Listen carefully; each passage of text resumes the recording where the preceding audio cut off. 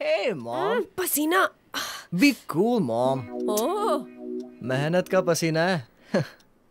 हसीना है मरती है इस पे। इन्फेक्शन बनेगा जब ये पसीना सारी हसीना विल गो। यो ये जो बढ़ेंगे तो अनकूल दिखेंगे डेटॉल डेटॉल हो। पसीना सूख तो जाता है पर उसमें छिपे जर्म्स दे सकते हैं इन्फेक्शन डेटॉल कूल देता है साधारण साबुन से 100% बेहतर सुरक्षा और मेंथॉल की कूलिंग मामा ने डेटॉल का धुला।